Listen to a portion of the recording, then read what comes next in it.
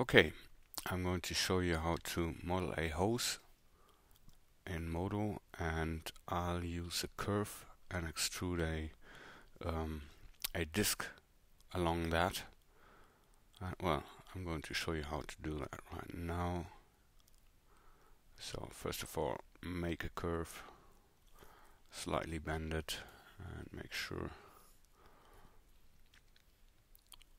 it's bended in a few more than just one axis. Uh, try to make the bends not too sharp. Okay, so like this.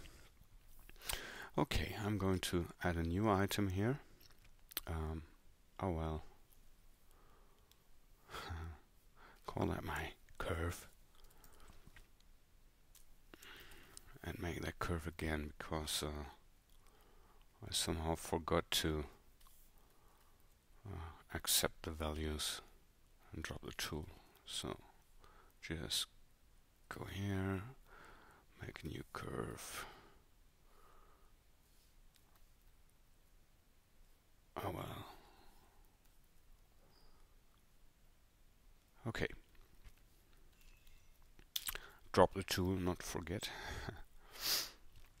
and then make a new mesh and call that hose. So I'm going to use the curve in the background to um, extrude a face of this disc along that. So I'm going to bring up the cylinder tool, hit control and scale it up there. Uh, I think the radius should should be something like well this okay. So now I'm going to select the front polygon or this face of that cylinder here. Uh, in the invert the selection and delete the rest. So I'm left with uh, only this face here I'm going to hide my grid and work plane and I'm going to show my selection normals because I need this as a visual guide for uh, aligning it to the curve. Um, bring up the transform tool and make sure snapping is set to on and go ahead, set the snapping mode to geometry and yeah, vertex and both layers. It should use vertex as mode and both layers and that's okay. So I'm going to snap that disk here to my background curve, switch to the top view and rotate the polygon here so that its normal aligns to the curve. So I'm going to switch to front mode as well and rotate that a bit and I think the rest can be easily achieved in perspective mode. So like this. Okay. Um, now this face is normal is pointing right into the direction of the curve.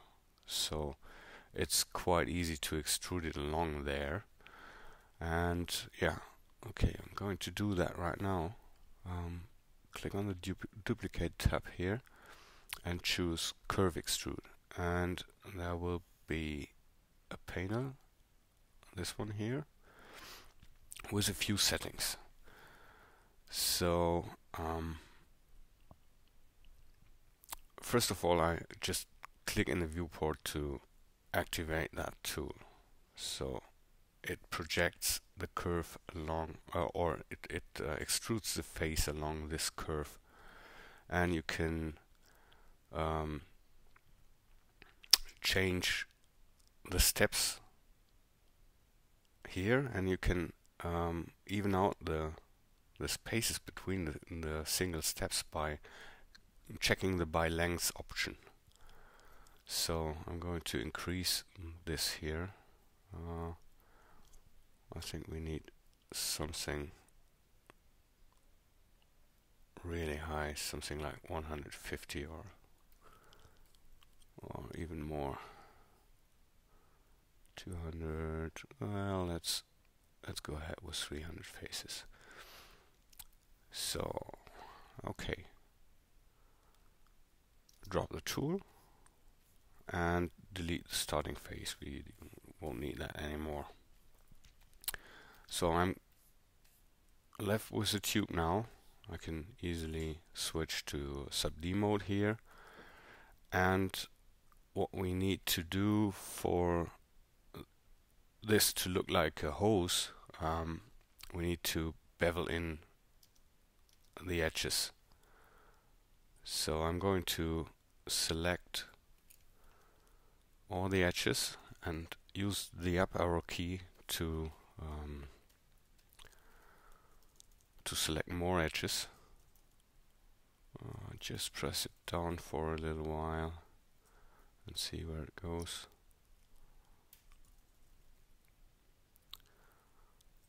Uh,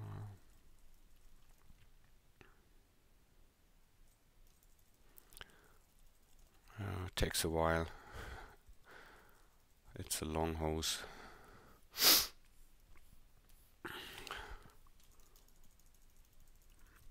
Okay, so we just reached the end. And now you can either hit L to select the edge loop. So each edge around here is um, selected. And now hit B and make sure that the round level is set to zero. And then go ahead and make a slight inset like this. Okay. Press spacebar to drop the tool and go to uh, polygon selection. So now I'm going to do exactly the same. Select a few polygons hit the up arrow uh, and go ahead, wait until it finally has reached the end. Make sure that you that you actually see it reaching the end.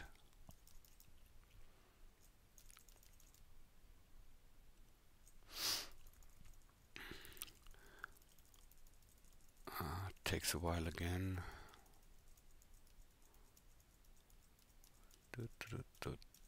Okay, so these are my first few polygons and then I do exactly the same with the second row. And it will again take a while until Modo selected all of these right to the end here